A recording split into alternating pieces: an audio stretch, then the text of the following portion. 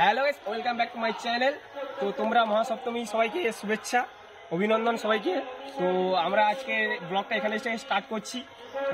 তো আমাদের টোটো এখন চলে এসেছে। তো আমরা সবাই রেডি হতে যাব এখন। এ ভাই এখানে গরিলা কোথায় ছিল? এর এখন থেকে অবস্থা দেখতে পাচ্ছ। ফুল এনজয় করছে।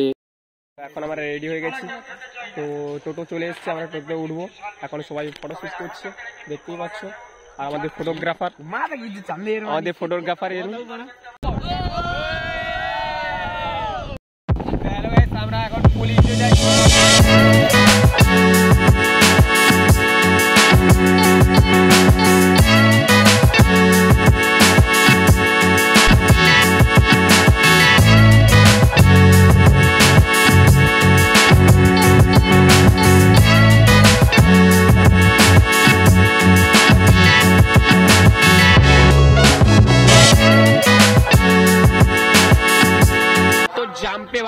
বলব, পুরো জাম্পে পড়ে আছি এখন আমরা।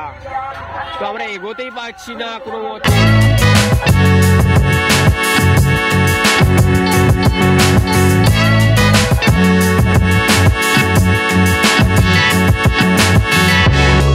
তো এখন আমরা ফুচকার দোকানে চলে এসেছি, সবাই ফুচকা একসঙ্গে মিলে খাব। তো দেখা যাক কী রকম। ফুচকাটার টেস্ট খুব একটা খারাপও ছিল না, খুব একটা ভালোও ছিল না। তো মোটামুটি চলে গেছিল। তো ফুচকা ভাই, একে তুমি যাই দাও না কেন? খারাপ হোক, ভালো হোক, এ সাঁটিয়ে রাখে খাওয়ারে তো আমরা যখন বেরিয়েছিলাম পুরো ফাঁকা, এই জন্য আমরা খুব ধীরে সুস্থে শান্তিতে খেতে পারছিলাম, না হলে তো ভেড়ে পুরো ঠেলাঠেলি হয়ে যেত। তো এখন আমরা তো এখানে নাচের প্রতিযোগিতা হচ্ছে, ছোট বোনটা খুব ভালোই নাচ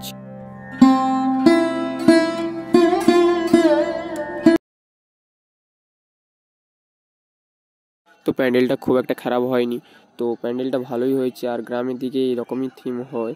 তো গ্রামে ভিড়টা কম আছে তোমরা ঠাকুর দেখো। ঠাকুরটা খুব ভালো হয়েছিল কিন্তু মহিষাসুরের মুখটা একটু দেখবে। তো আমরা টোটোতে এবারে বক্স বাজার জন্য ব্লুটুথ অন করছি। তো কাকুর সাউন্ডই তো আসছে না। তো অবশ্যই শিউলি ফুলের নলুক দেব দেব কাচের চুড়ি। শিউলি ফুলের নলুক দেব দেব কাচের চুড়ি। খোপায় আমি বেঁধে দেব হলুদ সোনা ঝুরি দেব ঝুমকলতার শাড়ি। শালুক ফুলের মেঘ মলুকে টানে গাড়ি। ও ওই দুধ সাদা রং আকাশ তো গান শুনতে শুনতে আমরা আর একটা প্যান্ডেলের মণ্ডপে চলে এলাম। তো এখানে আমাদের ইসরো থেকে চন্দ্রযানকে নিয়ে আসা হয়েছে এখানে সেলফি জোন করার জন্য। খুবই একটা ভালো হয়েছে, কিন্তু এখানে লাইন দিয়ে আমরা পাইনি চান্স তো সবাই লাইন দিয়ে দাঁড়িয়েছিল তো এখন আমরা মন্দিরের দিকে ঢুকছি। ঠাকুরটা কিন্তু খুবই ভালো হয়েছে এবং এখানে মন্দিরটা ও ভালো হচ্ছে। মন্দিরের কাজ চলছে, তোমরা দেখতেই পারো মন্দিরটা কীরকম ডিজাইনে আছে। মন্দিরটা খুবই ভালো লাগছে। তা ওইদিকে কনে দেখতে পাচ্ছ আমাদের সবার মহাদেব বসে আছে। তো সব থেকে ভালো প্যান্ডেল আর ঠাকুরের মধ্যে এটাই আমাদের আমাদের থানার মধ্যে এটা এক নম্বর হয়েছে এবং কতগুলো প্রাইজ দেখতেই পারছ তোমরা। আর ভেতরে ঠাকুরটা সত্যি খুবই ভালো হয়েছিল। তো এখানে এক নম্বর হয়েছে প্রাইজটা এখন আমরা মণ্ডপের ভিতরে ঢুকেছি। সত্যি ঠাকুরটা দেখো খুবই অসাধারণ হয়েছে ঠাকুরটা। ঠাকুর এখন আরতি চলছে প্রায় সাড়ে এগারোটা বেজে গেছে এখন আরতি হচ্ছিল। তো আমরা ঠিক সময় চলে এসেছিলাম। তো আমরা এখানে অনেকক্ষণ ছিলাম এবং